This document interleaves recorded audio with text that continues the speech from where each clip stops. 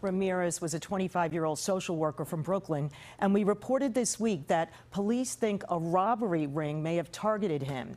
He was last seen alive on April 21st, getting into a taxi with three men outside a gay club. Today, there was an effort to promote safe pride in Hell's Kitchen. We really encourage everyone to be aware of their surroundings, be aware of the risks. The city's Office of Nightlife issued safety warnings as Pride celebrations gear up, not long after the tragic death of social worker Julio Ramirez in the back of a taxi. Pix 11 News has learned police suspect a robbery ring preyed on Ramirez, 25, outside the Ritz Bar, a popular gay club on West 46th Street, in the early hours of April 21st. Our sources tell us different rings seem to be targeting Hell's Kitchen.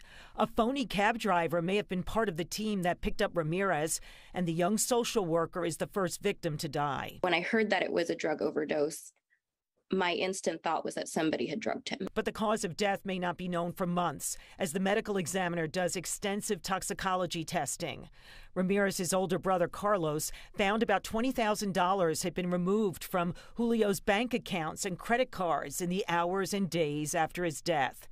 The owner of the spot encouraged everyone celebrating Pride Month to pay attention to the people they meet. I'm asking fellow bar owners to just make sure they're extra vigilant when they're checking people's bags and make sure that nothing's getting in that will actually ruin the party for others. City officials especially concerned about deadly fentanyl being cut into just about any kind of party drug, which is driving the fatal overdose rates locally and nationally. We're now losing one New Yorker every four hours. Community advocates even handing out bags containing fentanyl strips that can test a drug for the presence of the synthetic opioid. They're in every Narcan bag, and we encourage people to use them to test any type of recreational drugs. It's simple with a little bit of water and a little bit of the substance. You can tell whether or not it has fentanyl in it. A city council committee handed out flyers promoting safe sex and frequent testing for COVID.